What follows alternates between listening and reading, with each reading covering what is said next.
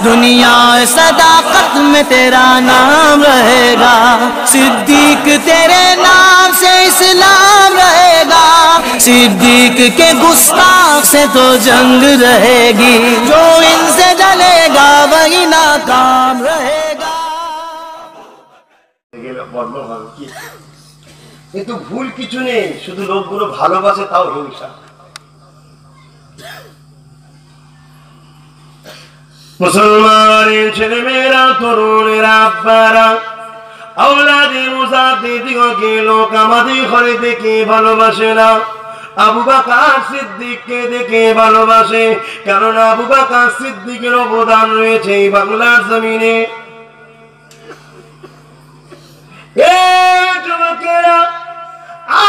মুফতি দাবি করে আজ মৌলানা দাবি করে আজ ইমাম আমি কাউকে ছোট করছি না। কিন্তু ইতিহাস খুলে দেখো, তার নিয়ে ছুটতো, তার নামের আগে সিঁড়ি লিখতো, তার পর্দারা ধুতি পরত, তার পর্দারি সিঁদুর দিয়ে যুবকেরা, তরুণেরা, আব্বারা, এই বাংলার জমিনে আমার মুজাহিদুজ্জামান রক্তকে পানি করে পানি করে তারপর দাদাকে আল্লাহ রাস্তায় নিয়ে এসেছে নবীর রাস্তায় নিয়ে এসেছে, দিন ইসলামের কাদারে শিখিয়েছে। তাই সেই রাস্তা দেখানোর পরে আজ তার ঘরের বাচ্চা আলেম হয়েছে আফেজ হয়েছে, মুফতি হয়েছে। এ যুবকেরা আব্বারা তরুণেরা, এখন তার মর্যাদা, আর দাদা পিলা ওনাদের মর্যাদা কখনো তো এক হতে পারে না। কি গো?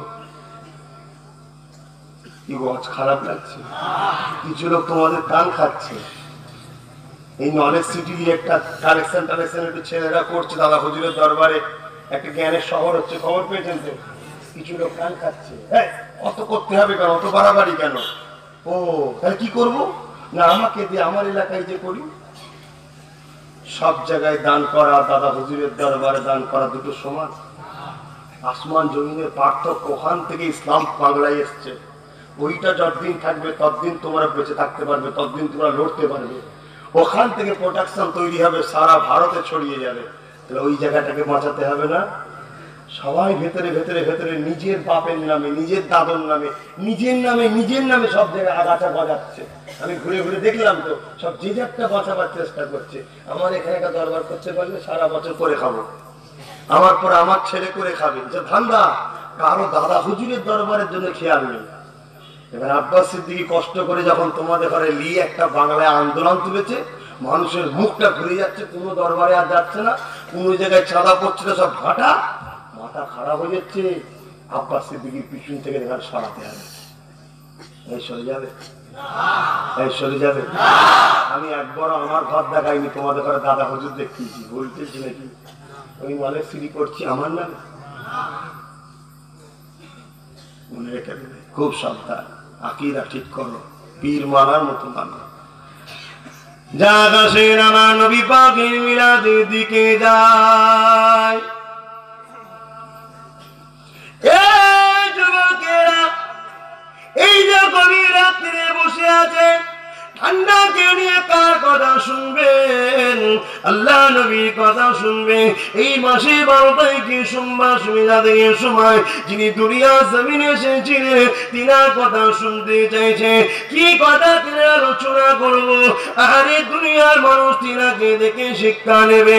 আল্লাহ পাক কোরআন পাকের মধ্যে বানিয়ে দিলে এই দুনিয়ার মানুষেরা, আমি আমার হাবিবকে ওসুয়া করেছি, মডেল করেছি। তোমাদের চলাফেরা চাল চলন বাণিজ্য, কারবার, উঠা, বসা, রাজনীতি সবকিছু আমার রসুল্লাহর অনুসরণ করে করতে হবে। আরে আমার রসুল্লাহ দুনিয়া জমিনে ছোটবেলায় যখন তাসিব এনেছে, আম্মা জানতু হালিমা বলতে লেগেছে, আমি যখন মোহাম্মদ রসুলকে আমার বাড়িতে নিয়ে এসেছি, আমি বাচ্চা মোহাম্মদকে আদর করি, যত্ন করি। আমার ডান দিকের স্থানটা বাচ্চা মোহাম্মদ রসুলকে পান করায়, আর বাঁ দিকের স্তনটা আমার নিজের সন্তানকে পান করায়, একদিন ভুলবশত করে আমার ডান দিকের জায়গায়, বাঁ দিকের স্তনটা মোহাম্মদ রসুলকে পান করাতে গেলাম। আল্লাহ নবী বিরক্ত বোধ করলেন, নবী আমার পান করতে লাগছে না। আবার যখন ডান দিকেরটা দিতে লাগলাম, আল্লাহ নবী দেখলাম পান করতে লেগেছে। আহা, ছোট্ট নবী আমার, শিশু বানাতে দেখে না, ইনসাফ কাকে বলে দেখাচ্ছে? আল্লাহ নবী দিন দুনিয়ার বাদশা হাবিবুল্লাহকে আম্মা যান দুদুমা আলিমা আবার বাঁদিকে একটা যখন দিতে যায়, আল্লাহ নবী পান করছে না।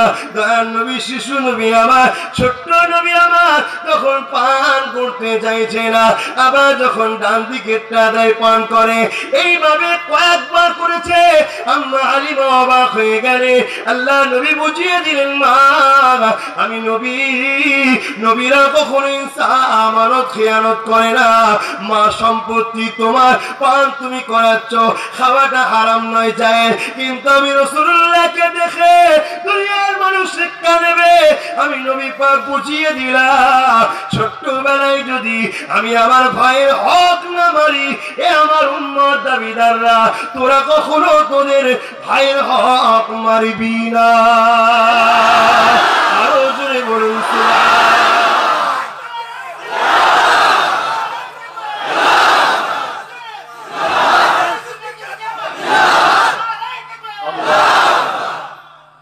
আহা কি সুন্দর ছোট্ট শিশু নবী আমার। ছোটবেলায় দেখুন কত ইনসান দুনিয়ার লোককে, ওইটা খাওয়া হারাম ছিল না। খাওয়া যায়। কিন্তু আমাকে দেখে দুনিয়ার লোক শিখবে যে রসুল হালাল হওয়ার পরও ভাইয়ের ইনসাফ মারছে না। আমরা কেন আমার ভাইয়ের হক মারবো? আজ মুসলমান, বলুন আপনাদের ভাই ভাই মিল আছে? শুধু ঠান্ডা ঠেকার হক মেরে দেবো বাপের মাথায় টুপি পরিয়ে মায়ের মাথায় টুপি পরিয়ে কি করে ছাড়া যায়? ভালো জমিটা আমি দেবো। কি চলতো তো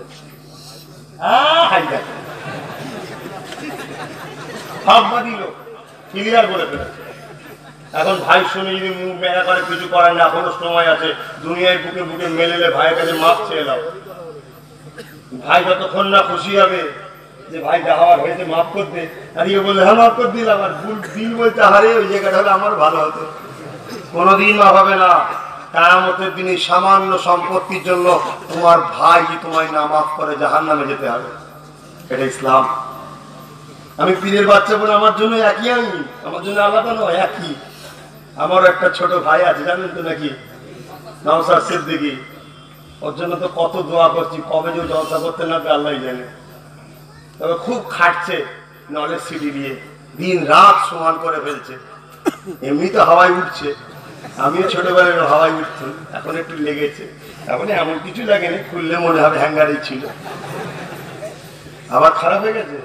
আমি খারাপটা করিছি একটু চেষ্টা করি। গত তিন দিন একভাবে দিন রাত ধরে চিল্লাচ্ছি আমি। গত তিন দিন খুব শয়তান লেগেছিল পিছনে।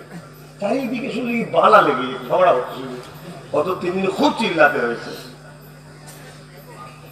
কথা বুঝে আসছে? তো যাই হোক, আমার ছোট ভাইয়ের জন্য দোয়া করবেন। আমি পছন্দ করি, আমার জন্য যেটা পছন্দ, আমার ভাইয়ের জন্য ওটা পছন্দ করি আমি। এটাই উচিত। আপনি আপনার জন্য যেটা পছন্দ করবেন, আপনার ভাইয়ের জন্য ওটা পছন্দ করতে হবে। এর নাম হলো মুসলমান। আপনি দাবি করলেন, আমি ভাইকে ভামুকে বললে হবে না, বাস্তবে দেখাতে হবে। আল্লাহ আমাদের সকলকে দুদিনের দুনিয়া মিলেমিশে রাখেন, হাসিতে রাখেন, খুশিতে রাখেন। বলুন আল্লাহ এখানে ভাই বলতে গিয়ে আর একটা কথা বলে দিই, হিন্দু, খ্রিস্টান, দলিত, ওরাও কিন্তু আমাদের ভাই আবার। তোমার জন্য যেটা পছন্দ কর, ওদের জন্য পছন্দ করতে হবে। তাই আমি সব জায়গায় দোয়া করি, আমার হিন্দু, খ্রিস্টান, দলিত, আদিবাসী, সবাইকে আল্লাহ হৃদায়ত জনক করে দেয়। বলুন, আমিন। কেন, ওরাও আদম নবীর সন্তান, আমিও আদম নবীর সন্তান। ওদের আম্মাজান হাওয়া, আমারও আম্মাজান হাওয়া। বাপ, আপনি তো উপরে। আসেন না বাপ একেবারে মুরব্বী মানুষ সামনে বসে আছেন পাপা লাগাচ্ছি খারাপ হচ্ছে আসেন না বাপ এসব ঠিক আছে, এদের তো পীর আমি। তুমি তো আমার চাচা হও এদের তো আমি পীর। বসে হ্যাঁ। কেন, আমি নাচারে বসে, চেয়ারে বসি, তাও পা ঢেকে রাখি, দেখতে খারাপ না লাগে। তারপরেও মাঝে মাঝে একটু লড়াতে হচ্ছে। কি করব বলেন না, সব যন্ত্রণা করে, একভাবে। কোন রকম নাচে মুজে দিই তো বলি ওটা চিল্লাতে হচ্ছে। বেরিয়ে পড়বে। এই তো জীবন আমাদের। খোদা যেন আখেরাতে শান্তি দেয়, বলুন আমিন। আহা, মুসলমান এর পরেও কিছু লোক বলে, হুজুররা আর বিশেষ করে আমার কথা বলে, কি, অনেক টাকা লাগে অনেক টাকা লাগে আই না বাবা, এক মাস ভোর না, ঘুমোতে দেবো বাকি সব খেতে দেবো আর দেবো আর ছেলেরা এত খাওয়ায় এর আগের বয়স তুমি খাইনি ওই জন্য এবারে ডাইরেক্ট ঢুকে গেছি উঠে করলে আর হতো নি বেরিয়ে চলে যেত। একেবারে অনেক কিছু করেছিল জানছি করে হয়তো খাবেনি করে কম করেছে। তাহলে বসে তারপরে অনেক কিছু করে দেখ, বাপ বেটা বসে আছি তো আনন্দ করছি কারও কষ্ট হচ্ছে নাকি? বুক ফুক জ্বলে না তো? জ্বললেও কিছু করার নেই বাপ। আমি আমার ভাইয়ের সাথে আমার বাপের সঙ্গে কথা বলতে তোমার অসুবিধা হচ্ছে। তো অনেক যেখানেই যায় সেই তরকারির উপরে দুই ইঞ্চি করে তেল। বছরে একবার এসছে, হুজুরকে একটু ভালো না খাওয়ালে হয়? ওই খাওয়া বিষ খাওয়া হচ্ছে। আমরা রাত জাগা লোক, আমাদের ঘরে যত ঠান্ডা খাওয়াবে, পাতলা জিনিস খাওয়াবে, হালকা মশলা খাওয়াবে, তত ভালো। আবার এইসব ওয়াজ করলে কিছু মরিচা খেপে যাবে। ওই হুজুর, আমাদের প্রেলানি আছে রে। আমি চোখে দেখেছি এক একটা মরিচা, এক একটা বক্তা সাহেব গোস গুটা গিয়ে খাই আমি মিথ্যা বলছি, বাস্তব দেখেছি আমি। আমি অবাক হয়ে গেছি। শুধু ধরে নিচ্ছে নিচ্ছে দিচ্ছে চিবই নিচ্ছে আল্লাহ কি অবস্থা? আচ্ছা আল্লাহ খাওয়াচ্ছে খাবে না। আমার কপালে নেই, তোর কপালে আছে। কি, অনেকের কপালে থাকে না। বিয়ে বাড়ি হয়, ছেলের বিয়ে দিচ্ছে, কত কি হয়েছে, মিষ্টি, কুরমা, কেলুয়া, কত রকম তরকারি হয়েছে। তার এক মাস আগে চেক আপ করে ডাক্তার বলে যদি বাবা তোমার পাঁচশো সুগার, একদম সুবিনি। দুনিয়ার লোককে খাওয়াতে ওষুধ কি হয় না হয় না? তা আল্লাহ তোর খাওয়াচ্ছে ওটা বলছি। হয়তো মনে করতে পারে। দেখ, আমি যেটা বলি, সাদা তো ভালো, সেটাও তো দেয় না। এরকম রোজ রাত জাগা আর রিচ খাওয়া, শরীর শেষ হয়ে যাবে না। আমি তো টোটাল বন্ধই করে দিচ্ছি লোকের বাড়ি। খুব ক্লোজ জায়গা, খাস জায়গা, মহাব্বতের জায়গা। বলা থাকে, বাবা দু তিনটে রুটি করবি একটু কদু ডাল করবি। আজকে রুটি আনতে দেরি করে যে ভাত দিতে খেয়ে ফেলি। খাওয়া ঠিক নয়। এই রাত্রিরে মানুষ খেয়েই মরে। যত অলিয়া উলিয়া দুনিয়ায় ছিল, তারা এক মাসে একবার খেত, সপ্তাহে একবার খেত, দু মাসে একবার খেত।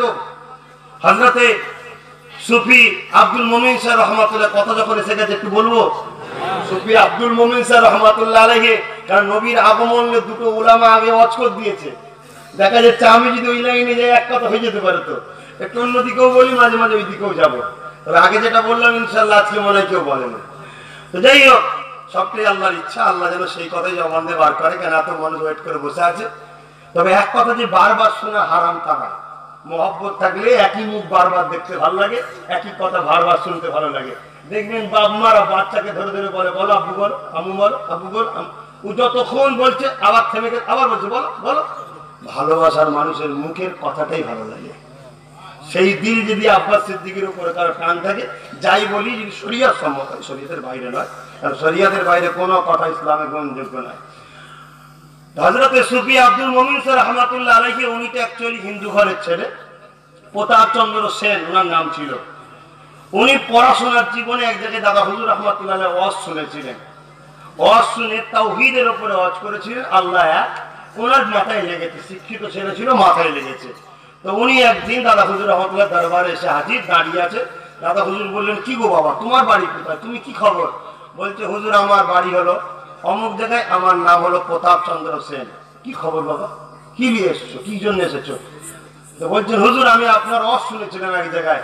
শুনে আমার দিল গিয়েছে। আমি সৃষ্টির উপাসনা করব না, স্রষ্টার উপাসনা করব। জোরে বলুন আমি গাছের সূর্য আগুনের পাহাড়ের পাথরের তৈরি করা মূর্তির উপাসনা করব না। কেন সৃষ্টিকর্তার কোনো ছবি নেই, ফটো নেই, ভাষ্যকর নেই। এটা হিন্দু গ্রন্থ, বেদেতেও আছে, সৃষ্টিকর্তার কোনো আকার নেই। কিন্তু বর্তমান সময় কিছু ধর্ম ব্যবসায়ী দুনিয়ার মানুষকে বোকা বানাবার জন্য এগুলো তৈরি করছে। করে দুনিয়ার মানুষের পয়সা লুটছে, বোকা বানাচ্ছে। আল্লাহ তাই আমার হিন্দু ভাইদের করো সৎ বুদ্ধি দিক, হেদায়ত করুক, শান্তিতে রাখুক, ছেলে পুলে বউ বাচ্চারে হাসি খুশিতে দুনিয়ায় জীবন যাপন করুক। আল্লাহর সৃষ্টি পরকালে যেন আল্লাহ হেদায়তও করে দুনিয়ায়, পরকালে নাজাতও যেন পাই বলুন আমি তো ভাইয়ের আমার হজরতে মুজাদ্দুজ্জামান দাদা হুজুর রহমাতুল্লাহ আলের কাছে এসে বললেন যে, আমি ইসলাম কবুল করতে চাই। দাদা হুজুর বলে বাবা, তোমার মা বাপকে জিজ্ঞেস করেছ? দেখুন, ইসলাম কাকে বলে? মা বাপ মা বাপের কথা রসুল প্রথম বললেন। কেন? আমার রসুল মদিনার নবাবিতে বসে আছে, এক বুড়ি আসছে লাঠির উপরে ভর দিয়ে, তার গলায় একটা বড় চেন আছে, সেই চেনেতে ঠাকুর মূর্তি। তখন পুজো হতো লাত নামে, উজ্জা নামে, হবল নামে, না, অন্য ঠাকুর ছিল। তাদের উপাসনা হতো। এইরকম গলায় ঝুলছে। রসুলের পাশামের চেহারা মোবারকটা বুড়িটাকে দেখে কষ্ট পেলেন। রসুল লাল হয়ে গেল এইরকম একটা বয়স্ক মহিলাকে তার ছেলে পুলে দেখে না কেন? সাহাবাদের ঘরে চিৎকার দিয়ে বলছে, ওর মধ্যে একটা যুবক বসেছিল, উঠে দাঁড়িয়েছে। রসুল বলছে, কি খবর? হুজুর বিয়াদুমি নেবেন না ওটা আমার মা। আল্লাহ নবীর চেহারা লাল হয়ে গেল আগে তোমার মা এরকম বৃদ্ধা ঘরে আছে। তার সেবা না করে তুমি আমার দরবারে বসে আছো? বলছেন, হুজুর বিয়াদুমি নেবেন না। আমি এক আল্লাহকে মেনে নিয়েছি, আপনাকে নবী বলে কর্মা করেছি আমার মা তো মানেন, আমার মা তো ঠাকুর পূজা করে। আল্লাহ রসুল বলেছিলেন, তোমার মা ঠাকুর পূজা করে, তোমার মা সৃষ্টিকর্তার কাছে জবাব দেবে। কিন্তু তোমার মা হয়, তোমাকে সেবা করতে হবে। তুমি সেবা না করো, তুমি আমার উন্মত নয়। যদি বলুন সোভান ইসলাম কাকে বলে দেখুন, তোমার মায়ের ধর্মটা তোমাকে মানতে হবে না। কিন্তু তোমার মা তো সে, তার সেবাটা তোমায় করতে হবে। যাও। চলে গেলেন যে মায়ের সেবা করতে লাগলেন। আর আজকে আমরা মুসলমান যদি মাকে না ভালোবাসি, নবীর উম্মত দাবি করলে হবে? হ্যাঁ এই জন্য আমি আপনার সিদ্দিকে আন্দোলন করেছি। তুলছি আগামী দিন কলকাতাও রাখব আপনাদের সাথ দিতে হবে। যে মাকে যে অত্যাচার করবে, আইন তৈরি করো, বারো বছরের জেল হবে। বাপকে যে অত্যাচার করতে হবে, আইন করতে হবে, বারো বছরের জেল হবে। দরকার আছে না নয় আর নয় তুমি একদিন বাপ হবে ছেলে জুড়া পায়ের লাঠি মারবে তখন হাড়ে হাড়ে বুঝবে যে কেমন লাগছে। আর মা বাপের পাশে দাঁড়াও, মা বাপকে ভালোবাসো, তোমার বাচ্চা আল্লাহ সেরকম দেবে যে তোমাকেও ভালোবাসবে। তো ভাইয়ের আমার আমার রসুল পাশাল্লাম মায়ের গুরুত্ব কত দিয়েছে দেখুন। আহ, দয়ার নবী আমার নিজে বসে আছে, সাহাবাদের কথা বলছে। এমন সময় একটা বুড়ি মহিলা রসুলের দরবারে এসছে। আল্লাহ নবী উঠে নিজের চাদর ছিল, চাদর দিয়ে জায়গাটাকে ভালো করে মুছলে মুছে চাদরটা বেঁচিয়ে দিয়ে ওই বুড়িটাকে বুঝতে দিলে রসুল খুব ছোট্ট ছোট্ট কথা, বড় যত্নের সাথে বুড়িটা সে কথা বলছে। বলার পরে বুড়িটা যখন চলে যাচ্ছে রসুল্লাহ নজরানা দিলেন, দিয়ে তেনাকে বিদায় করলেন। সাহাবাদের মধ্যে কানা খুশি খুশি হচ্ছে যে রসুল্লাহ তো আম্মা ইন্তেকাল হয়ে গেছে।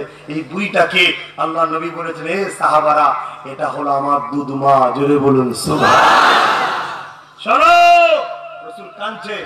যদি আমার মা আমেনা বেঁচে থাকতো, আর আমি যদি নামাজে দাঁড়াতাম, আমার মা যদি ডাক দিত, বাবা মোহাম্মদ! আমি আমার মায়ের ডাকে ছুটে এসে সারা দিতাম। জোরে বলুন আজকে বহুত মলি সাহেব আছে নামাজি আছে মাকে না। আমার মানুষ তো আছেই আছে। কথা বুঝছেন না, বোঝেন না। বড় বড় ফটোয়া দেয়। আবার আমার নামে প্রচার করছে, আমি নাকি আমার বাপের সঙ্গে সম্পর্ক। আমাকে নাকি আবার কুড়িয়ে নিয়ে এসছে আমার বাপ। শুনেছিলাম কথা? কত রকম কথা হচ্ছে? আমি জানি না আমার আব্বার মুখ থেকে শুনেছি। কেন জায়গায় দিকে আমার আব্বা যারা উঠে এইসব কথা বলছে। আমি এইসব কথা আপনি কি বলছেন? বলছে প্রচার করছে তোমার সম্বন্ধে। আমি করছি বলি না আপনি কি এনেছেন সত্যি করিয়ে বলছে, না। কথা বলতে আসছে না? মানে লোক কত রকম ষড়যন্ত্র করছে, শুধু আব্বাস সিদ্দিকির পিছনে এত লোক কেন? এই জন্য। আর কিচ্ছু নয় আমি কথা দিচ্ছি, তোমরা এক বছরের জন্য আমার পাশ থেকে সরে যাও, দুনিয়ার সবাই থেকে আমাকে নিয়ে চিন্তা করে, বন্ধ করতে হবে শুধু একটাই রাগ। এই ইউনিট না করে ফেলে, এ পাওয়ার না করে ফেলে, এ শক্তি না তৈরি করে ফেলে। কারণ এর মধ্যে যে প্রতিভা আল্লাহ দিয়েছে এই যদি শক্তি পাওয়ার তৈরি করতে পারে, সমাজের দুর্নীতিবাজ বন্ধ হয়ে যাবে ইনশাল্লাহ কথা বুঝে আসছে আমি আন্দোলন তৈরি করেছি।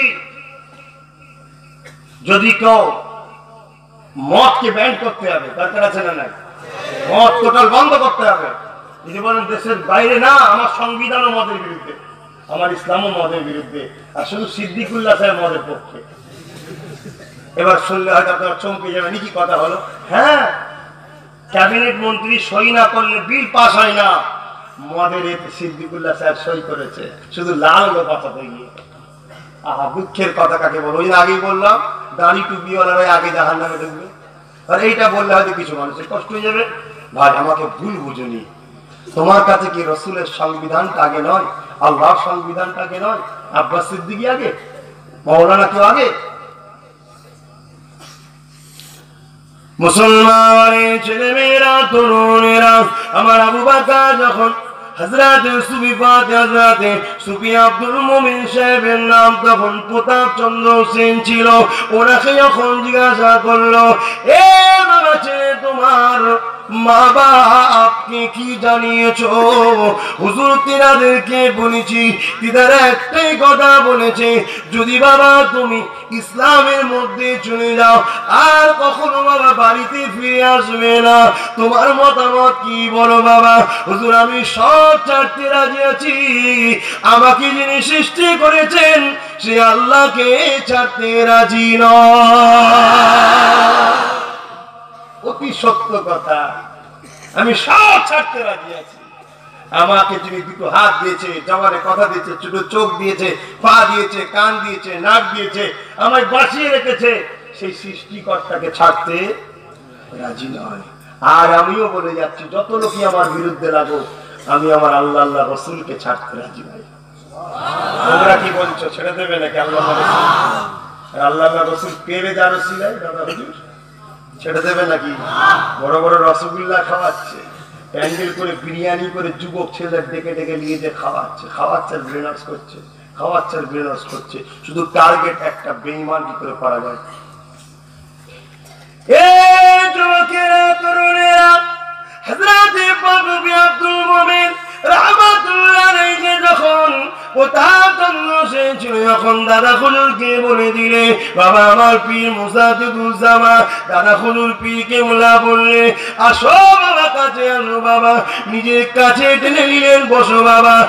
তুমি বলো বাবা। আশহাদু আল্লাহ ওয়া আশহাদু আন্না মুহাম্মাদান আবদুহু ওয়া রাসূলুহু। লা ইলাহা ইল্লাল্লাহ।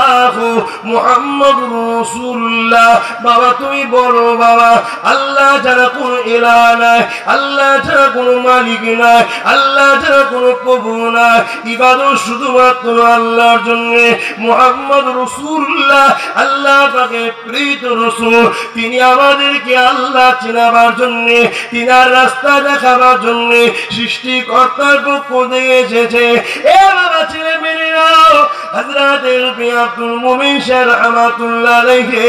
তখন চন্দ্র সেন যখন ছিল, এটা মেনে চোখ দিয়ে লাগল। বাবা ছেলে রে, আল্লাহকে মেনে নিয়েছ, রসুল ইসলামের মধ্যে দাখিল করেছ বাবা। এবারে তোমার কিছু কাজ আছে বাবা। সর্বপ্রথম বাবা, তোমার নাম আমি আবু বাকার আসতে রেখে দিলাম, আবুদুল মুমিন। মোমেনের বান্দা। মোমেন আল্লাহ পাকে সেফাতি না জাতি নয়, জাতি একটাই আল্লাহ। এ প্রেমিকেরা যে বিষয়টা বলতে গিয়ে দিকে গেলাম হুজুরকে আমার মোজাদে জামান শিক্ষা দিয়েছে বাবা আব্দুল মুমিন। তুমি দুনিয়া জমিনে ভ্রমণে বেরিয়ে পড়ো বাবা। যত নবী পীর পাইগম্বাদের মাজার আছে, বাবা জিয়ারত করতে লাগো বাবা, জিয়ারত করতে লাগো বাবা।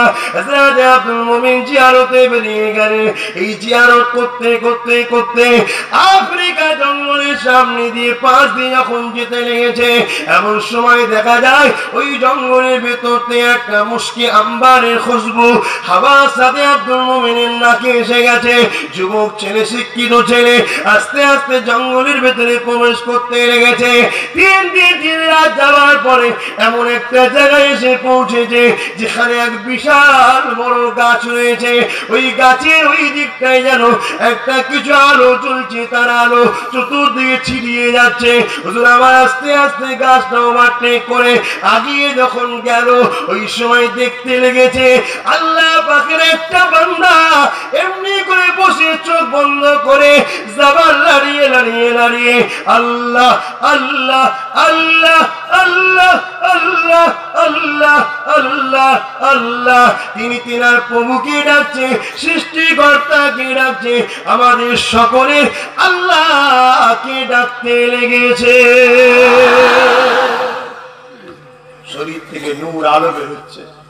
হজরত আব্দুল মোমেন হুজুর পাশে গিয়ে দাঁড়ালেন। ইশারা হলো যে কেউ ছাড়লো, চোখ খুলে দেখছে একটা মানুষ। সালাম বিনিময় হলো। বলছে, সতেরো বছর পর মানুষ দেখছি আমি। বলুন সুভান সতেরো বছর পর মানুষ দেখছি, জঙ্গলে কেউ মানুষ ঢোকে না এ বাবা, কোথা বাড়ি তুমি? কোথা বেরিয়েছি? যেখানে কি খবর? জিজ্ঞেস করছে, আল্লাহ বেরিটা হাজরাতে আব্দুল মুমিন তখন বলছেন যে আমার পীরের হুকুম আমি পালন করে জিয়ারত করছিলাম, এরকম যাচ্ছিলাম এটা খুশবু পেলাম, আসলাম, আপনাকে দেখলাম। জিজ্ঞেস করছে, তোমার পীর? আমার পীর হলো সৈয়দ আবু বাকা সিদ্দিক আল কোরাইশি আল হাসেমি, হিন্দুস্তান, ভারতবর্ষ, পশ্চিম বাংলা। তিনি আমার পীর, আমি অন্য ধর্মের ছিলাম। তিনার কাছে বায়াত ইসলাম কবুল করেছি। তিনি আমায় বলেছেন, মাজার জিয়ারত করতে।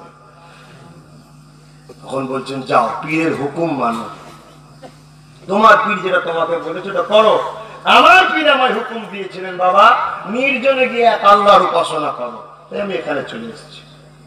তোমার পীর যেটা তোমাকে হুকুম দিয়েছে, তুমি সেটা করো। তখন আব্দুল মোমেন জিজ্ঞেস করছে, হুজুরা, আপনার পীরের নাম কি? স্বাভাবিক। এরকম একটা কারিজমাওয়ালা মুরিদ দেখেছে। ইচ্ছা তো যাবে কার হাতে হাত দিয়েছে বিলটা তো গাওয়া দিতেই পারে বললেন, বাবা আব্দুল মোমিন, ভাই, তোমাকে আমার পীরের নাম পরে বলব। তুমি এখন যাও, আমি আমার পীরের হুকুম মানছি, তুমি তোমার পীরের হুকুম মানো, যেটা হুকুম করেছে পীর মানতে হয়। হজরত আব্দুল মোমেন হুজুর বলেন কয়েকদিন আমি তোমার সঙ্গে থাকতে চাই। আমি বড় খোদার পিয়ারা হতে চাই, সৃষ্টিকর্তার পিয়ারা হতে চাই, তাকে ভালোবাসতে চাই, তোমার সাথে থাকতে চাই। ওই সময় বলেছিলেন, বাবা, পীরের হুকুম ছাড়া কখনো এলমে লাদুন্নির ফয়েজ পাওয়া যায় না। তুমি আমার সঙ্গে থাকতে পারবে না। সবকিছুর একটা পাওয়ারের ব্যাপার থাকে কিন্তু হুজুর বাইনা করলেন, বসে গেলেন। হজরত আব্দুল মোমেন হুজুর বলছেন, দুদিন পার হয়ে গেল, মানুষটা কিছু খাইনি একভাবে জেকের করেই যাচ্ছে, আমিও পাশে রয়েছি। কিন্তু এত খিদে লেগে গেছে দুদিন পরে। আমি চো আর জেকেরও করতে পারছি না, উসপাস উসপাস করছি। তখন উনি আবার চোখ খুললেন, খুলে বললেন, ভাই, কি হয়েছে? না আমার খিদা লেগেছে। যেই চ্যাটাইটায় বসেছিল, পাতা দেব না ওনা বলতে বুঝতে পারছ তো আমাদের মতো এ নাই মানে বাঁধা কোনো রকম একটা চ্যাটাই সেটাকে তুললেন তুলে তিনটে রুটি বার করলেন। আব্দুল মোমেন স্যার হুজুর নিজে বলছে, যেন মনে হলো এক্ষুনি তাওয়াই থেকে নামানো হলো, জেরে বলুন। অথচ সেখানে তিন নম্বর কেউ নাই। উনি একটা খেলেন আমার একটা দিলেন, ধরে দিলেন। আর বললেন, বাবা, তোমার জন্য আজকে খেলাম ভাই, আমি সপ্তাহে একদিন খাই, জোরে বলুন। মানুষ খেয়েই মরে। না খেয়ে মরে না। কি? পুরো কথাটা না থাকবে কেন অন্য বিষয়ের আলোচনা হচ্ছিল? কথা এসেছিল বলে খাবার ব্যাপারে তাই বলে দিলাম। আল্লাহর অলিরা কন্ট্রোল একজন আল্লাহর অলি শীতের সময়, ফজরের সময় উজু করতে গিয়ে খুব ঠান্ডা লাগছে। খুব ঠান্ডা লাগছে। বলছে, নফস, তুই আমাকে এত খারাপ রাস্তায় নামাচ্ছিস? দাঁড়া সোজা যে উজু করার জায়গায় গোসল করেছে। এক কথা বুঝছেন না? গোসল করেছে। পরের দিন উজু করতে হবে আর ঠান্ডা লাগে নষ্ট আমাদেরকে খারাপ করে। আর এখানে অসুয়াশাটা হয়। এখানে অসুয়াশাটা হয় অন্তরে যেটা ঠান্ডা লাগছে, এটা কষ্ট হচ্ছে। তো নফস দেখছে কি, যদি আবার আজকে বলি ঠান্ডা লাগছে, ও আবার গোসল করবে। অত দরকার নেই, যেটুকু হচ্ছে এইটুকুই হোক। নফসকে দমন করতে হয়। কিন্তু আমরা তো পারি না। পেটের জ্বালা, বড় জ্বালা। দেখছি বড় টিভি আছে। মুখ ঘুরিয়ে এলে বাবা, খেয়ে এলে টিভি হয়ে যাবে। কি করব? এই কথা বুঝছেন না? আর যদি এগুলো দমন করতে পারি আমরা, আমরাও বড় বড় অলি দমন করা বড় মুশকিল। কার বাড়ি বাদ দেবো এই বাড়ি খুঁজতে খুঁজতে রাস্তায় পুরো গ্রাম বাদ চলে যাবে, কারও বাড়ি খুঁজে পাওয়া যাবে না? আমার ইমাম সাহেব মলি সাহেবরা ভিতরে ইমামতি করে জীবনে টিভি ওয়ালার বাড়ি খাবে তো সারা বছর ছুটি করতে আহ কি দিন এসে গেল? আসলে ভাই, পরিবর্তন আল্লাহ আমাদেরকে হৃদায়ত করে ওই শয়তানের বাক্স ঘর থেকে বার করে দেবে। ওই যত কাল হচ্ছে, ওতে তোমার ছেলে ছোটবেলা থেকে শিখছে ক্যারাটি মারা, কীভাবে খেলাচ্ছে। ওই দেখে দেখে দেখে দেখে লাস্টে যখন মারা লোক পাইনি বাপকে খাটাক করতে দিয়েছে।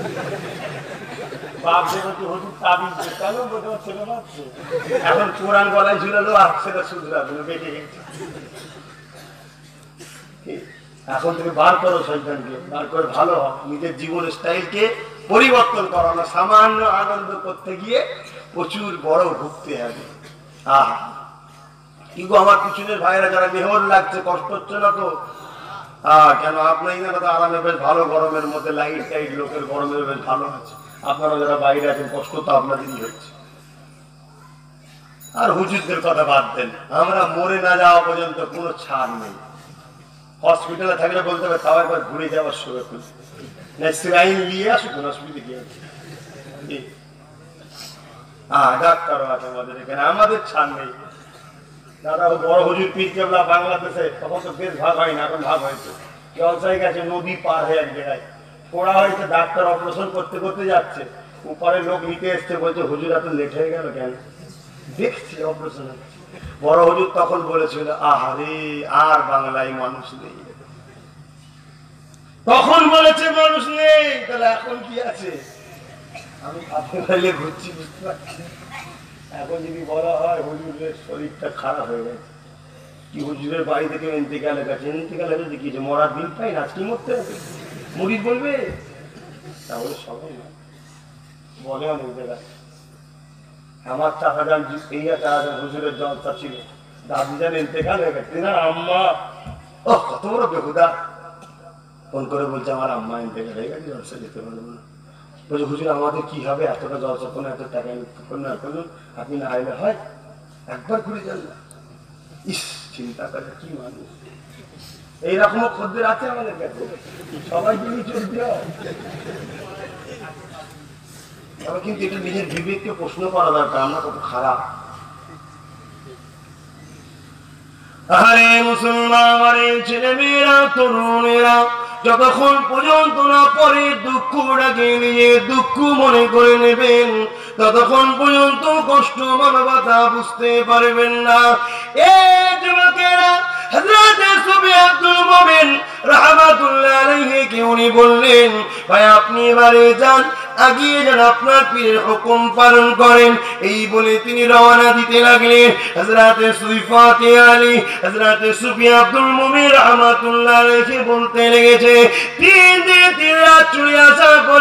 যখন আমি জঙ্গলের বাইরে বেরোলাম, পিছন থেকে একটা আওয়াজ এসে যায়, ও ভাই আব্দুল আপনি আমাকে আমার পীরের নাম জানতে চেয়েছিলেন। আমার বাড়ি বিহারে, আমার পীরে অন্য কেউ নয়। আমার পীরকে গিয়ে সালামটা দিয়ে দেবে আমার পীর হলো তিনি, যিনি আপনার পীর। মুজাদিরুজ্জামান দাদা খুজুরি আমার পীর।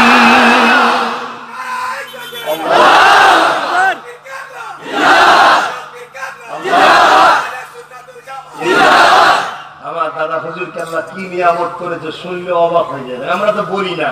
কারণ বললে কিছু লোক বলে বাপ দাদুর গল্প বলছে ওই জন্য বলাই বন্ধ করে দিয়েছি। কিন্তু এগুলো ওদের প্ল্যান কেন বলে বলেন তো এগুলো? যাতে করে দাদা হুজুরের কথা বলা বন্ধ হয়ে যাবে। ছোট ছোট ছোট ছোট বাচ্চাগুলো আসতে দাদা হুজুরকে ভুলে যাবে। তখন ওরা এসে টুক করে চুরি করবে। আসো, আমাদের দলে আসো। আর যখন আমরা দাদা হুজুরের কথা বলতেই থাকব বলতেই থাকব, বসে বসে ছোট ছোট বাচ্চাগুলো শিখবি আমার বাপের মাথায় টুপি দাদা হুজুর পড়েছিল রে। আপনি দাদা হুজুর ছাড়লে হবে চ। এই জন্য মুনাফেরা কাটি দেয়। কথা বুঝছ না? তারপরও যাবি কোথা ছোট ছোট ছেলেগুলো যাবি বা কোথা যাওয়ার কোনো উপায় আছে নাকি? কত শাক দিয়ে মাছ ঢাকবে। একটু এসে লাড়া দেবো, সব বেরিয়ে পড়বে। কে? এখন পেরেশান হয়ে গেছে বাতিলগুলো তোমাদের এই বাদুরিয়ার মুনাফেক থেকে শুরু করে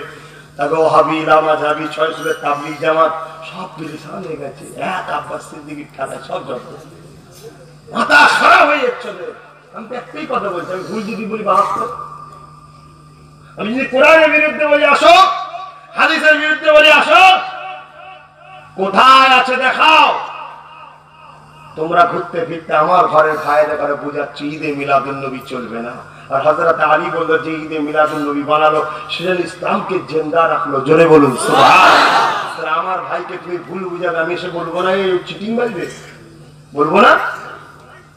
আল্লাহ শকর, তোমাদের সঙ্গে আমাদের একটা অন্তরের টান আছে ভাই। যতই লোক ভুল বুঝিয়ে রাখো আর যাই রাখো যখনই চোখে চোখে হয়ে যায় না, অমনি সব দেখবেন ঠিক হয়ে যায়। কে? কেন তোমাদের শরীরের রক্ত তো দাদা হুজুরের মুড়িদের রক্ত? জোরে বলুন তোমাদের বাপ দাদু সব তো দাদা হুজুরের ছিল। যাবে কোথায়? কিছু মানুষ আমরা তো বছরে একবার এসি বাকি দিনগুলো ঘুরে ঘুরে বেড়ায়। তোমাদেরকে একটু মাথায় হাত বুলিয়ে আর করে তো ওদের ঝুলিতে ঢোকাবার চেষ্টা করে কথা বুঝলেন না? তা আমি এসেছি যখন দাদা হুজুরের পুকুরে তো একটু বেড়াতে যাতে মাছ না চুরি হয়। কারণ আমার দাদা হুজুরের পুকুরে তো সবাইগুলো তোমার যদি বাপের কোনো পুকুর থাকে, সেখানে যে যাও না, জাল ফেলকে যাও বেড়া দিকে যাও, মাছ ধরকে যাও, আমি কিচ্ছু বান করতে যাব না, কি? বাংলা আমার দাদা হুজুরের পুকুর। এ পুকুরে মাছ চুরি করতে আমি খাবার সঙ্গে খাও না, দাদা হুজুরের গুণ দিয়ে খাও। বলো, আমিও দাদা হুজুরে খাও। দাওয়াত লাও লোক আসবে তোমাকে আন্ডা ভাজা খাবে মুড়ি গোস খাবে খাও। বাবারা বাবারা, দাদা হুজুর জিন্দাবাদ, পাঁচ হুজুর জিন্দাবাদ, রসুল্লাহর পক্ষে কথা বলো, কিচ্ছু বলব না।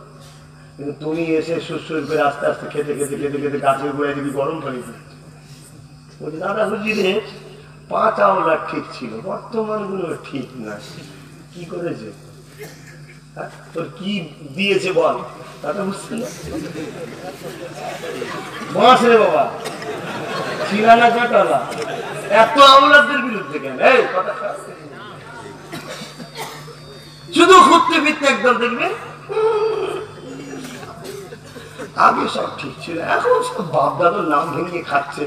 তা বাপ দাদের নাম ভেঙে খাব না? আমার বাপ দাদু আল্লাহ তারা জমানার মুজাদ্দের কি? আমার নাম ভাঙাবার জন্যই তো আল্লাহ মদিবারে পাঠিয়েছে। তোর বাপকে পাঠাই দেখো তোর বাপকে ধুতি পরে মাথায় মদের ফাললে করে বেড়াচ্ছিল। তুই ভাঙবি কি করে? এই কথা খারাপ লাগছে নাকি? আমার বাপ তোমাদের বাপ নয়? দাদা হুজুর আমার একা নাকি? এই দাদা হুজুর কার কার হাত তুলে দেখাও? তোমার বাপকে আল্লাহ তুমি তো বলবে আমার বাপ আমার বাপ আল্লাহ তাকে এত নিয়ামত করেছে এই সম্মান দিয়েছে এই সম্মান দিয়ে, এই সম্মান দিয়েছে। আর যে দাদা হুজুরের নাচে কি বলবে? আমার বাপ আমার বাপ! আমার বাপ আমার বাপ, পরে আল কেটে বেড়াতো। বলতে পারবে? আজকে শুনবে যে আমার বাপ আল কেটে পাঠাতো, জমি বন্ধক দিয়ে টাকা খেত। শুনবে তো? আর যখন তোমরা বলবে আমার বাপ আমার রসুল্লাহ দরবারে গিয়েছিলেন নবী বলেছিল এক রাত আমার কাছে থাকবে জোরে বলুন হ্যাঁ, সবাই শুনবে। হুজুরের কথা বলব না। হয়তো কিছু লোকের কষ্ট হচ্ছে দরকার এত কষ্ট করে বসে আছে অন্যদিকে চলে। যাচ্ছে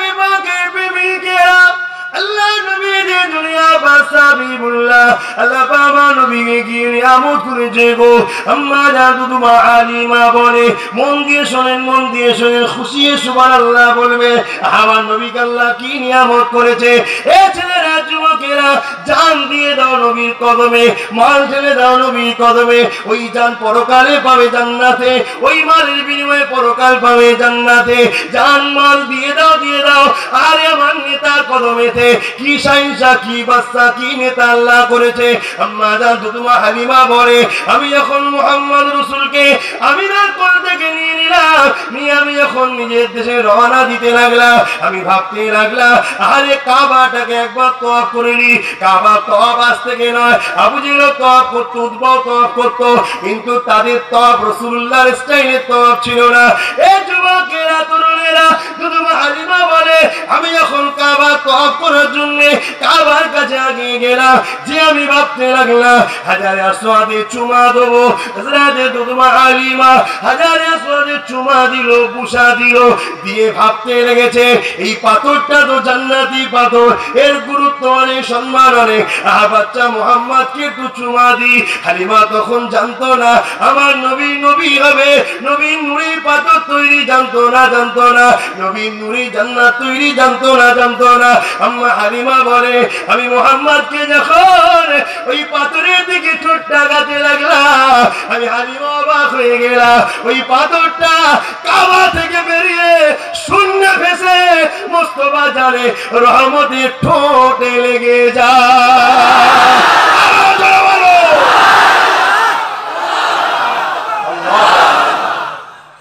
এই রসুলের ছোটবেলার কথা শুনবেন না? কিছু ওহাবি আছে বলে নবীর ছোটবেলার কথা আবার শুনব কেন? চল্লিশ বছর পরে নবুয়াত পেয়েছিল তখন কথা শুনব। ফাটা কপালে তো তো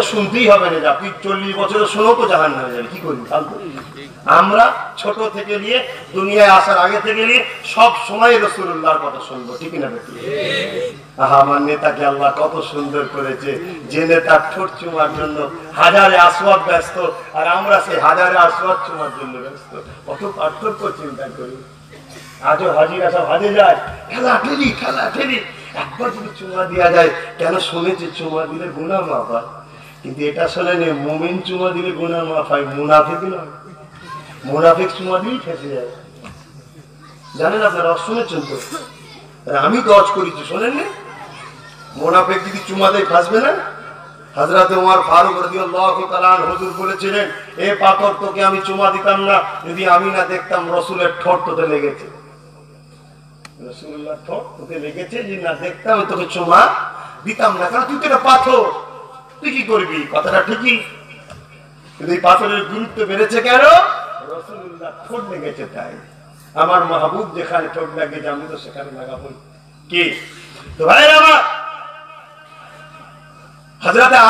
পাশে দাঁড়িয়েছিলেন। হজুর বলছেন, ও ভাই কথা ঠিকই, পাথর কখনো কারও ক্ষতিও করতে পারে না, উপকারও করতে পারে না। কিন্তু আমরা পাথরের ইবাদত করছি না।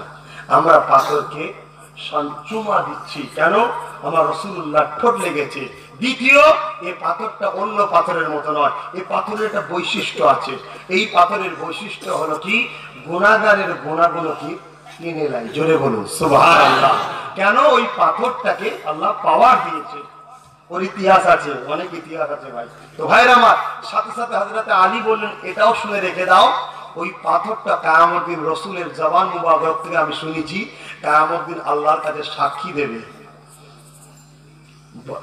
এয়ারপোর্টে যাবেন, দেখবেন সব বড় বড় গেট করা থাকে। ওর দিয়ে যেতে হয়। কিছু যদি থাকে, টিট টিট টিট টিট টিট। কি? দু নম্বরের জিনিস হলে ধরা পড়ে যাবে। একদিন আমি এরকম যাচ্ছি, আমি হুজুর মানুষ, এমনি তো ভাই বর্ডার বা এয়ারপোর্টে গেলে আল্লাহ আল্লাহ বেশি বলি। কারণ এমনি আমাদের ঘরে দেখে নাক সিট খায় দোষ নয়, দোষ আমাদের। আমরা আন্দোলন করতে পারিনি তাই। এই যে আইএস আইএস, আল কায়দা জৈসে মোহাম্মদ মুসলমান সেজে সন্ত্রাসী করছে, ওইগুলোকে দেখে তো লোক ভাবে মুসলমান মানে সন্ত্রাস। আমাদের আন্দোলন করা দরকার, ওগুলো ইহুদিদের তৈরি করা মুসলমান। আমার রসুল্লাহর উম্মত ওরা নয়। আমার রসুল্লাহর উম্মত যদি হয়, আমার রসুল শিখিয়েছে রাস্তাতে যখন যাবে, রাস্তায় যদি কোনো মানুষের যাতায়াতের বিপদদায়ক কিছু দেখো জঞ্জাল দেখো, ময়লা দেখো, ওটাকে তুমি ফেলে দেবে, এমন জায়গায় জায়গায় লোকে পা পড়বে না। সে নবী এতটা শিক্ষা দেয়, সে নবী কখনো সন্ত্রাসী শিক্ষা দিতে পারে না। জোরে বলুন কোরআন যেখানে বলছে একটা নির্দোষ মানুষকে কেউ যদি মারে, পুরো মানুষ জাতিকে হত্যা করার পাপ তার মাথায় চাপবে। সে কখনো সন্ত্রাস হতে পারে না। এগুলো যারা, এগুলো বুঝবি তৈরি করা আল কায়দা কে তৈরি করেছে? হিলারি ক্লিন্টন আল কায়দা নেটে সার্চ করুন। আল কায়দাকে তৈরি করেছে আমেরিকা। ভিয়েতনামের সঙ্গে যুদ্ধ করার পরে আমেরিকা সৈন্যরা হাঁপিয়ে গেছে, কমজোর হয়ে গেছে। রাশিয়ার বিরুদ্ধে লড়তে হবে। লাদেনকে দিয়ে আল কায়দা দল তৈরি করে। সব আমেরিকা তৈরি করা। কিন্তু রাদেনকে দেখে আমাদের কি মজা হয়? মুখে দাঁড়ি মাথায় টুপি পাবি মনে হয় পাক্কা মুসলমান না? এসব আমাদের তৈরি করা। বুঝছেন না?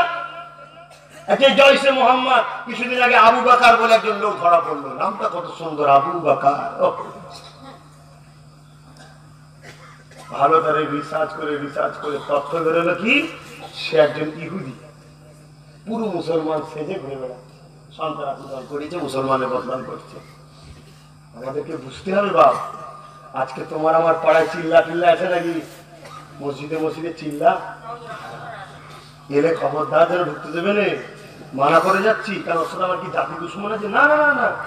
দেখা যাচ্ছে দশটা এলাকার লোকের মধ্যে একটা বাইরের লোক টুক করে চিল্লায় ঢুকে যাবে। ঢুকে যে মসজিদে দেখা যাবে একটা ব্যাগ বুগলি পাল্লা রেখে দেবে, রেখে দিয়ে থানায় সাইডে গিয়ে ফোন করবে, স্যার। পালিতপাড়া মসজিদে আমাদের ডাউট হচ্ছে জঙ্গি ঢুকেছে ব্যাগে কিছু বোম বন্দুক আছে মনে হচ্ছে। কে তুমি? কে তুমি? আমি একজন দেশপ্রেমিক। ডক্টর কেটে দিল। যে সিম ফোন ফেলে দিয়ে চলে গেল। পুলিশ কাঁই কাঁই করে এসে ঘিরে ফেলল, ভাই, মসজিদ চেক হবে। সে কি কথা? মসজিদ চেক হবে মানে? মসজিদ চেক হবে মানে? ভাই, আমাদের কাজ করতে দেবে তোমার রোকার ক্ষমতা আছে? ঠিক আছে ইনি মুসলিম পুলিশ ইনি মুসলিম পুলিশ, যা গুলি করেন চলেন, ঢোকেন। দুটো মসজিদে ঢুকছে। ব্যাগ চেন টেনেছে এখন বোম বেরিয়ে ফেলে কে রেখেছে? কে রেখেছে? আমাদের এলাকায় সব কে দাওয়াত দিতে এসছে? তারা কই? তারা পালিয়েছে খোঁজো পুরো গ্রামবাসীকে চেপকে লাল করে ফেলবে র্যাব বিয়ে একটু হুঁশ করে চলো, তোমাদেরকে ফাঁসাবার প্ল্যান চলছে। এরকমও নাটক চলছে। তোমার মুসলিম পাড়া একটা চরিত্রহীন ছেলে আছে, বদমাইশ ছেলে আছে, তাকে সাইড ডেকে নিজে বলা হচ্ছে রে পঞ্চাশ হাজার আর কি জন্যে? অমুক ঠাকুরের বউটা গেলে পালা। ওকেও শিখিয়ে দিচ্ছে কিছুদিনের সাথে পালা। শুনছেন? শুনছেন? লাস্টে গায়েব হয়ে গেল। কে নিয়ে গেছে দুজন সাক্ষী দিল? অমুক গ্রামের অমুক ছেলেটা। পুরো গ্রামবাসীকে চাপ দেবে র্যাপ দেবে, পিটিয়ে লাল করে দেবে, বার কর। এসব গেম প্ল্যান চলছে তোমাদের শেষ করার জন্য। হুঁশ করো! ওই জন্য গ্রামে গ্রামে গ্রামে গ্রামে সব বাস্তিদিকে সংগঠন করছে কেন? আমাদের পুরো লিখা থাকবে। যদি কেউ সমাজ বিরোধী, দেশদ্রোহী বিরোধী, ইসলাম বিরোধী কাজ করেছে নিজে দোষী। আমরা দোষী নয় গ্রামবাসী। পুরো বোর্ডটা নিয়ে হবে গ্রামে। কেউ যদি অন্যায় করে, সে তার জন্য দোষী। আজ থেকে দু তিন বছর আগে ঈদের দিন, কালকে ঈদ হবে, চাঁদ রাত্রিরে ফোন এসছে। হাওড়া জেলার একটা জায়গা থেকে। কি হয়েছে? না আমাদের এখানে হিন্দু মুসলমান গেছে। কেন না আমাদের এখানে ঈদের দিনে একজন হিন্দু ছেলের দোকানে চুল কাটছিল, আর একটা মুসলমান ছেলে, মুসলমান বলতো তো লজ্জা লাগে কিন্তু সোরাতে মুসলমান, নামে মুসলমান পুনা বুঝলে বুঝবেন কি করে? সে গিয়ে মদ খেয়ে ওই হিন্দু ছেলেটাকে গালি করে তাকে গলায় হাত দিয়েছে, বলছে, না, অমুকের বাচ্চা কালকে আমার ঈদ আছে না? মাতালের আবার ঈদ। ঈদ ঈদ। ঈদ। নয় মাথার সেই গ্রামে ঢুকে পড়েছে। এবার সবাই মিলে দল গুটিয়ে আসছে। ফিরবে, ঠিকই তো, ফিরবে না? পিটবে ইনসানি করেছি। আমাকে ফোন করে, আমি শোনো, একটা কাজ করো। জলদি করে গ্রামবাসী এক হয়ে যাও। এক হয়ে গিয়ে মাতালটাকে ধরে পুলিশ সঙ্গে সঙ্গে তাই করলে, তুলে দিল পুরো ঠান্ডা ভাই কে আমাদের না। অন্যায় তুলে দিলাম। যাও।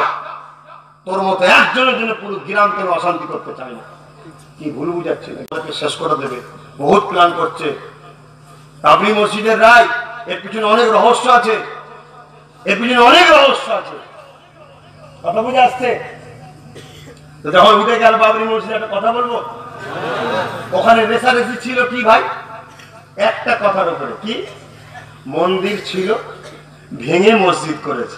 ঠিক না বেটি মন্দির ছিল, ভেঙে মসজিদ করেছে। আহা, আল্লাহ, তুমি কত মহান। এতটুকু তো প্রমাণ হলো, সুপ্রিম কোর্ট বলেছে, ওখানে মন্দির ছিল না। মসজিদই ছিল।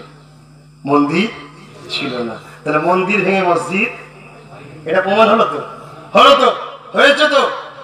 এখন সুপ্রিম কোর্ট রায় দিয়েছে, ওখানে মন্দির হবে।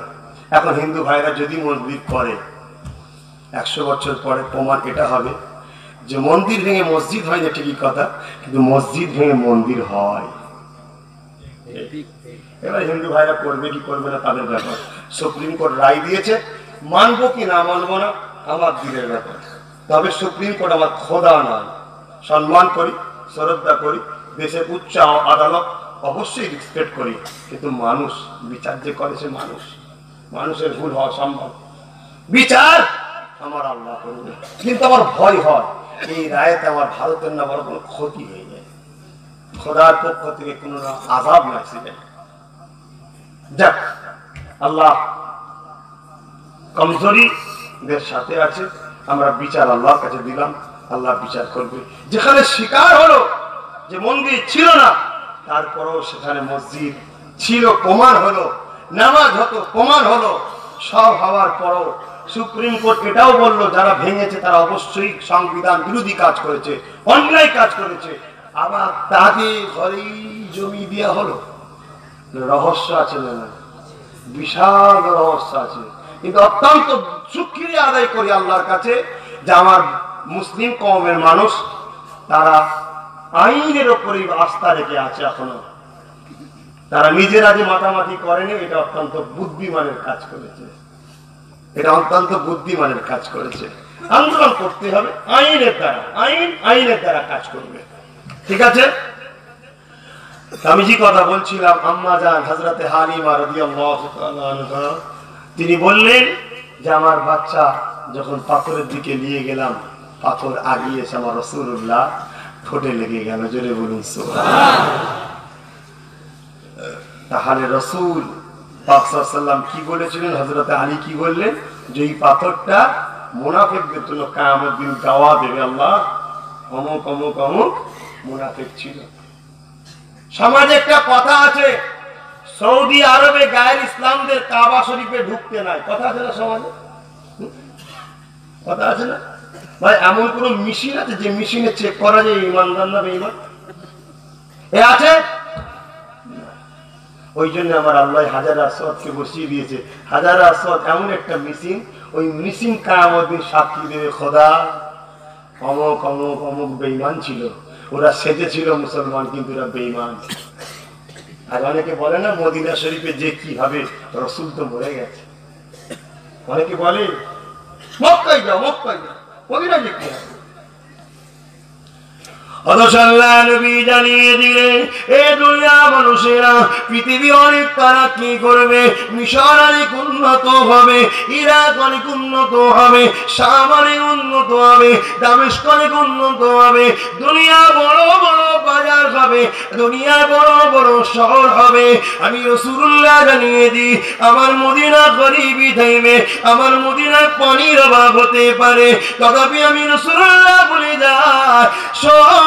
থেকে উত্তম হলো আমি আমার শহর মদিনা। লোক কাজ করতে যাবে মিশরে। বিশাল উন্নত শহর। ঘরে এসে বলবে, মা চলো মিশরে চলে যান। আমি রসুল্লাহ বলি যাস না, জ্ঞানী যদি হস রেখে দে আমার মদিনায় হলো সব থেকে উত্তর। কত ভালোবাসে মদিনাকে রসুল, আর বলছে, মদিনায় যে কি হবে? ফাঁকা কপালে তো যেতে হবে আমরা যাব ইনশাল্লাহ। কে যাবে না? ইনশাল্লাহ। হ্যাঁ। যে যতই বাধা দিক, আমরা যাব ইনশাল্লাহ। আল্লাহ যদি নিয়ে যায়। আমার আল্লাহ মাকে নিয়ে গেছে আমাদেরও নিয়ে যায় বলুন আমি আল্লাহ নবী মদিনাকে কত ভালোবাসেন। আমি কেন বাবা শহর কলিকাতাকে ভালোবাসবো না? আমার নেতা তিনি তিরা শহরকে ভালোবেসেছে। রসুল তো আমাদের জন্য মডেল। আরে আমাকে আমার শহরকে ভালোবাসতে হবে। আল্লাহ নবী নিজের দেশ মক্কার জন্য কেঁদেছে। আমি তাহলে আমার দেশ ভারতের জন্য কেন দোয়া করব না? কেন কাঁদবো না? কেন ভাববো না? রসুল তো আমার জন্য মডেল। নবী যা করেছে তাই করতে হবে। এ যুবকেরা, তরুণেরা, আল্লাহ নবী মদিনাকে কত ভালোবেসেছে। একজন হাজি সাহেব মদিনায় গেছে, দই খেয়েছে দই, কিন্তু দইটা খাওয়ার পরে হাজি বলেছে, দইটা ভালো নয়। ওই রাত্রে হাজি ঘুমিয়েছে। আল্লাহ নবী হাজিকে খবর দেখাচ্ছে হাজি, আমার মদিনার দই যখন ভালো নয়, বেরিয়ে যা আমার মদিনা থেকে। যেখানে দই পাবি সেখানে খা। সকাল হতে হাজি নবীর রোজায় যে কেঁদে ক্ষমা চেয়েছে। আমি যেটা বোঝাতে চাইছি, আল্লাহ নবী নিজের শহরকে এতটা ভালোবাসে সামান্য বদলা আল্লাহ নবী সহ্য করতে পারেন। যারা বলবে মদিনায় যেতে হবে না, এদেরকে সহ্য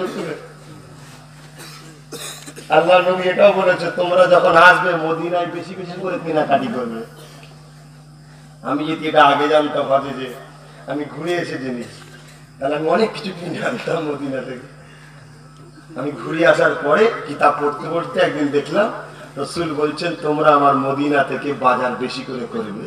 বলুন সোহান আল্লাহ তার শহর রসুল তার শহরকে এত ভালোবাসে?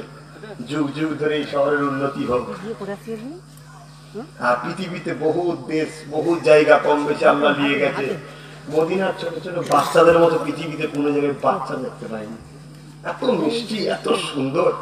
দেখতেও যেমন কথাবার্তা চাল চলন বসা এত সুন্দর কোন রকম বিয়াদুবি অভাদ্র নেই ছোট্ট ছোট্ট বাচ্চারা। রসুল্লাহর পছন্দ শহর। শুধু যদি মদিনার কথা বলি সারা রাত চলে যাবে। আমার রসুলের শহরের প্রশংসা না। কিন্তু আমার ঘড়ি টাইম দাঁড়াচ্ছে না। আসো নবী,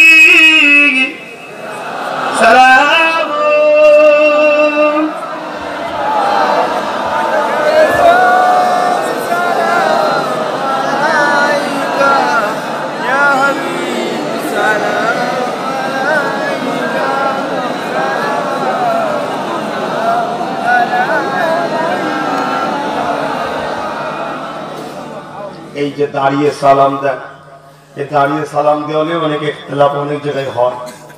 যারা দাঁড়িয়ে সালাম দিতে বিরোধী করে, তারা রসুল্লাহর পক্ষে নয়। মুসলমান সেজেছে ঠিকই, কিন্তু ওদের লক্ষ্য হলো আমাদেরকে ধোকা দিবার জন্য মুসলমান সেজেছে। অনেকে বলে, হাদিস কোরআনে দাঁড়াবার কথা নেই। কিন্তু আমি আপনাদের জিজ্ঞেস করি, আপনারা আম মানুষ তো। হাদিস কোরআনে আছে না নাই? কোনোটাই আপনাদের জানার ক্ষমতা আছে? যদি আমি বলি আছি, তাও আপনাদের আন্দাজে বিশ্বাস করতে হবে। যদি কেউ বলেন নেই, ওটাকেও আন্দাজে, তাহলে আপনাদের পড়ার ক্ষমতা নেই। কিন্তু আমি আপনাদের সাধারণ একটা কথা বলছি, আপনারা দাঁড়িয়েছেন কেন? নবীর মহাব্বতে না নবীর দুশ্মনীতে? মহাব্বতে, সম্মান, তাজিম। দেখাবেন কাকে? নবীকে না আল্লাহকে? আল্লাহ দেখতে পাইলে আমার বান্দাগুলো বসেছিল, হঠাৎ করে দাঁড়িয়ে গেল। এই কেন দাঁড়িয়েছে আল্লাহ জানে না? আমার রসুল্লাহকে সালাম দেবে। কেন মদিনায় যারা, মক্কায়, মদিনায় যারা যায়, বাবু সালাম দিয়ে ঢোকে রসুল্লাহর একেবারে কাছে। আহ, নবী সবাইকে দেখে জোরে আমার গোলামগুলো এসেছে। তেনাকে দাঁড়িয়ে দাঁড়িয়ে সালাম দিতে হয়। ওখানে বুঝলে যারা পুলিশ আছে, মারবে বুটোর লাঠি বাইবার দাঁড়িয়ে দাঁড়িয়ে সালাম দিতে হয়। এবং পৃথিবীর বুকে বিশ্ববর্ণ উলামা হজরতরা সবাই রসুল্লাহকে দাঁড়িয়ে সালাম দিয়েছে। রসুল্লাহর বেটি হজরতে ফাতে মাতা জাহারা রাদি আল্লাহ আনহা সব কথা বলতেন বসে বসে। যখন সালাম দিবার বাড়ি আসতো, তখনই দাঁড়িয়ে গিয়ে সালাম দিতেন জোরে বলুন। হজরত উসমান গানি রদি আল্লাহ হুজুর একদিন বিমারে পড়েছিল, খুব অসুস্থ। আর একজন সাহাবি বলছেন, ভাই তুমি সব থেকে যাকে বেশি ভালোবাসো, তাকে একটু দিল খুলে ডাকো। হুজুর বসেছিলেন উসমান গানি দাঁড়িয়ে গিয়ে বলেছিল, ইয়া রসুল আল্লাহ বসে তো বলতে পারতো। কথা বুঝে আসছে? এই সব বিভিন্ন দলিলে আহলে সুন্নাত আল জামাআতের আকীদার মানুষ আমরা দাঁড়িয়ে সালাম দেওয়াকে উত্তম মনে করি। আমরা ফরজ বলি কি? উত্তম। ভালো কাজ। ভালো কাজে বাধা দিচ্ছ কেন? সমাজে বাড়ি বাড়ি কোন ভর্তি হয়ে যাচ্ছে? ওই বারণ করো না তো। কথা বুঝে আসছে না? আপনারা সব খবর পেয়েছেন তো? ফরিদপুরা শরীফ চলুন। সবাই জানেন তো? কারা কারা জানেন? হাত তুলুন। মাশাল্লাহ সবাই জানেন? ইনশাল্লাহ জাবান নিয়ে কারা কারা করেছেন একটু হাত তুলে দেখান। মাশাল্লাহ আলহামদুলিল্লাহ। আপনারা যারা যাবেন আর একটা করে ধরে নিয়ে যাবেন। ওটা তো জানি আর একজনকে বাড়িয়ে নেবেন। একটা জনসভা, ঐতিহাসিক জনসভা দিয়ে আমরা দাদা হুজুরের নামে শহরটা ভিত দেবো। তারপরে তো প্রতি বছর একুশে অগ্রাণ জলসা হবে। কিন্তু প্রথম বছর আমরা চাইছি একটা জনসমুদ্রের মধ্য দিয়ে আমরা ভিত দেবো। বলুন ইনশাআল্লাহ। আর যারা যাবেন, সবার কি দায়িত্ব? একটা করে ইট আর একশো দশ টাকা। যদি ইট নিতে অসুবিধা একশো দশ টাকা নিয়ে যাবেন। কারও হাতে না, যে মাঠে প্রোগ্রাম হবে, ওই মাঠে বাক্স থাকবে, ঢোকার মুখে ওইখানে দেবেন, নিজে হাতে, কারও হাতে না। কিন্তু আপনারা সবাই কি একশো টাকা দিবারই লোক? একশো টাকাটা করা হয়েছে কেন? একটা ভ্যানালাও যেন মনে করে হ্যাঁ, আমার পীরের দরবারে হচ্ছে আমিও শরিক হব। সবাই যেন সমান ভাবে দিতে পারে। কিন্তু এছাড়া তো অনেকে দিবার ক্ষমতা আছে। এমনি দু হাজারের নোট ব্যান্ড হয়ে যাচ্ছে। থাকলে ওই সুযোগে দিয়ে বাবা। রেখে পচাস দিয়ে আমাদের চালাবার লাইন আছে তো। কি বা? এটা কি? আচ্ছা আচ্ছা। নজরানা দিওয়া কি নিয়া সন্ধ্যা আমার নজরানা নজরানা শুনবা রেগে যায়। শুধু হুজুরদের নয় মা বাপকেও নজরানা দিতে হয়। কখনো কখনো বাইরে যখন যাবে বাপ মার হাতে কিছু নজরানা দিয়ে যাবে।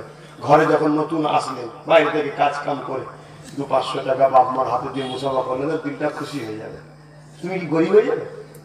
আপনার সিদ্দিকির মতো তোমার দেখে পিছনে টাকা আমার তুমি টাকা ছোটে? বাস্তব বলছি, তোমার বিশ্বাস হচ্ছে কি জানি না। আমি অবাক হয়ে যাই কিন্তু ছোটখাটো মানুষ। আমার পিছনে টাকা ছোটে।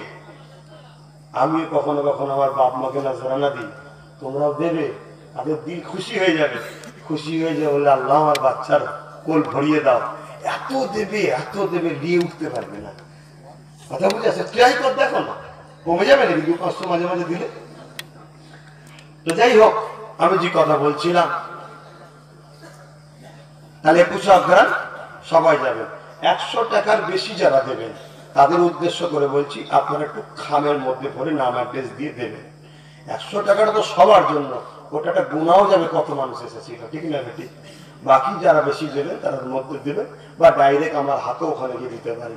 অন্য কোনো জায়গায় নয়, তাহলে আমি দায়িত্ব না। কথা বুঝে আসছে? আর সকাল নটার মধ্যে কিন্তু পৌঁছাবেন ফজরের নামাজ পড়বেন চলে যাবেন। একদিন একটু সকাল সকাল যাবেন। আর দুপুরের খানাটা ঘর থেকে নিয়ে যাবেন। কেন? দুপুরে খাওয়া দাওয়ার ব্যবস্থা থাকবে না। নতুন হচ্ছে হোটেল, টোটেল এলাকায় নেই। শিক্ষা প্রতিষ্ঠানটা ফাঁকা জায়গায় করতে হয়। কথা বুঝে আসছে না? আর একশো বিঘে জায়গা এখন পাওয়া খুব মুশকিল। একটু ফাঁকা না তো হবে না। তবে একদিন দেখব ওখানেই আবার শহর গড়ে উঠবে। বলুন না গো, ওখানে একদিন শহর গড়ে উঠবে, কি বলছেন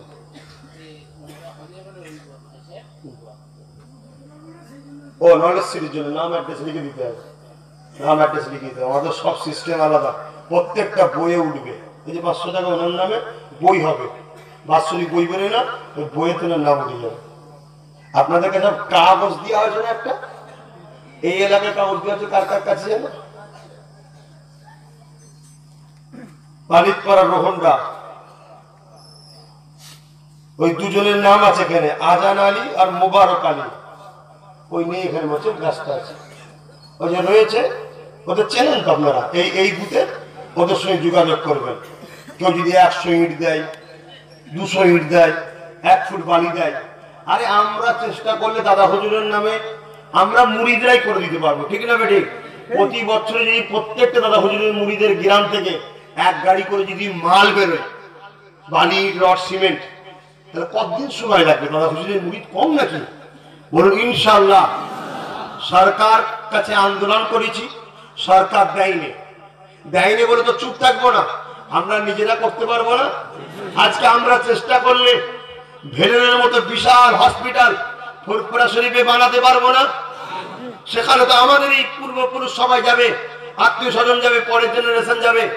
আমরা চেষ্টা করলে বিশাল অনাথ আশ্রম মাদ্রাসা এবং মাতৃ সদন তৈরি করতে কি পারব না? বলুন ইনশাল্লাহ সবার রয়েছে। বেলুর মাঠে রামকৃষ্ণ মিশন রয়েছে। সাই বাবাদের রয়েছে। খ্রিস্টানদের আছে। তোমার আমার কি সব যায় না? তোমার আমার ইমাম মোসাদ্দেসামান দাদা, হুজুরের নামে একটা কিছু হোক। সারা বিশ্ব থেকে লোক আসবে। সারা বিশ্ব থেকে পড়বে। আজ রাস্তাঘাট একটু মেরামত করতে হবে কেন বললাম? আস্তে আস্তে তৈরি হবে। ভালো ভিআইপি হয়ে তৈরি হয়ে গেলে আরে কে আসবে না? আসার জন্য আব্বাস সিদ্দিকির ডাকে সবাই রেডি হয়ে আছে। কথা বুঝে আসছে?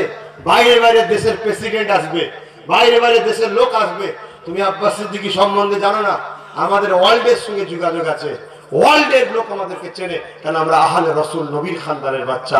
আমরা যেখানেই যাই, সেখানেই আমাদেরকে লোক গুরুত্ব দেয়। হজে গিয়েছিলাম, সেখানেও আহলে রসুল যারা আছে, তারা আমাদের ভাই, এক খানদানের বাচ্চা আমরা তারা দেখা করতে এসেছিল দুদিন পরে তারাও আসবে। কোটি কোটি টাকা তারা ঢেলে দিয়ে যাবে। ইনশাল্লাহ বিরাট সাম্রাজ্য আমরা গরিব, এতিম, অসহায়দের জন্য তৈরি করব বলুন, ইনশাল্লাহ।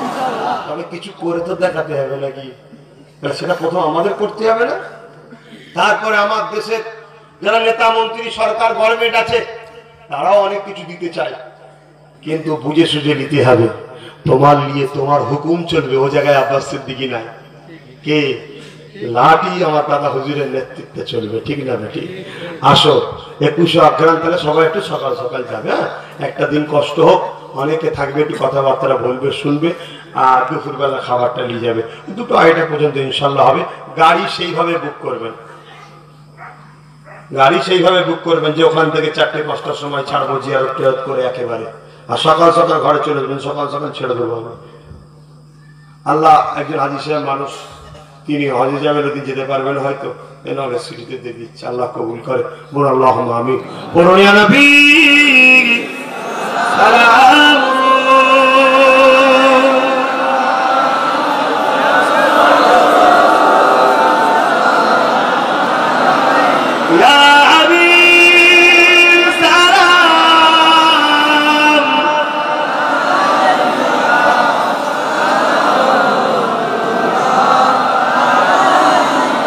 Porque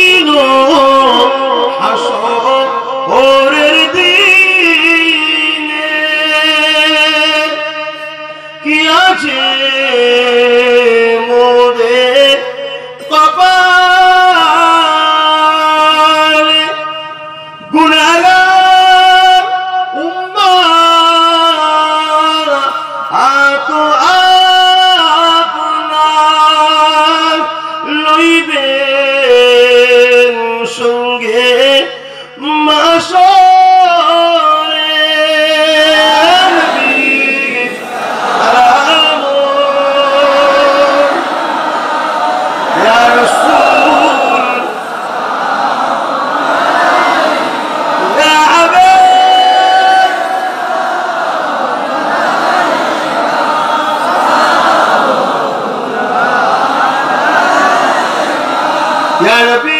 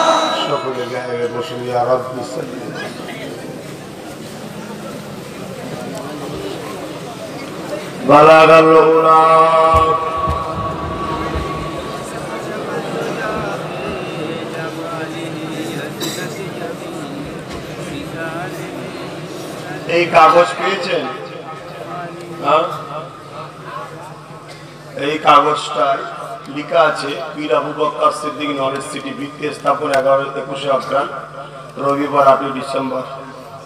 এই কাগজটায় লেখা আছে, আমি ভাইজান বলছি। আমি আমার মনের কিছু কথা সংক্ষেপে লিখেছি, খুব সংক্ষেপে। আমার ভাইদের ঘরে একটু শোনাতে চাইছি। এই কাগজ আপনাদেরকে দিয়ে আপনারা সবাই পড়বেন। আমার যখন ভালোবাসেন, তাহলে আমার কথাটাকে স্মৃতি হিসাবে রেখে দেবেন। ঘরে রেখে দেবেন, রাস্তাঘাটে ফেলবেন না। দাদা হুজুরের নামও আছে। এবং মা, বোন, বাপ, ভাই সবাইকে পড়াবেন হ্যাঁ হ্যাঁ রেখে দেবেন ভাইয়ের একটা স্মৃতি। এই ছোট ছোট বাচ্চারা নেবে না। বাচ্চারা নেবে না। আর উল্টো দিকে লেখা আছে, শিক্ষার প্রয়োজনীয়তা ও নলেজ সিটি শিক্ষার দরকার আছে না না কেউ দুটো নেবে না, আর বাচ্চারা বড় দেওয়া দেবে ঘর নিজের মা বাপকে দেবে পা না গুণা হবে। পা না গুণা হবে। এই করে লিখছি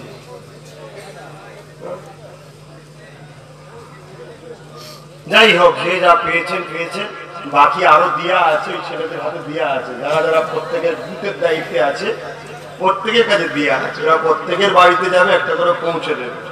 আমি একটু নিয়ে এসে দিচ্ছি যতজন পেয়েছে পেয়েছে। যাক, আলহামদুলিল্লাহ। এখন দোয়া চাপা হবে তো আমারও কাছে। কি পারবে বসিয়ে না থাকি আচ্ছা যাওয়ার সময় দুদিকে দেবেন, আগে দেবেন? তাড়াতাড়ি দাও, এত লোক কিন্তু অনেক সময় লাগবে।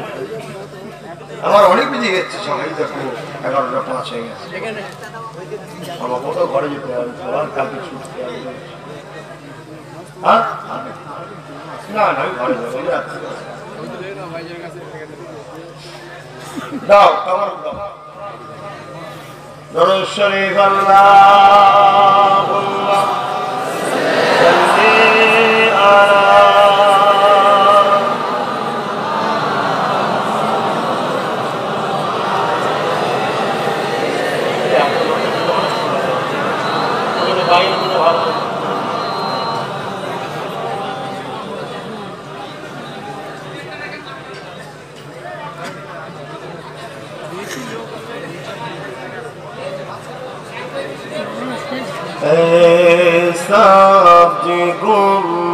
আদওয়ারে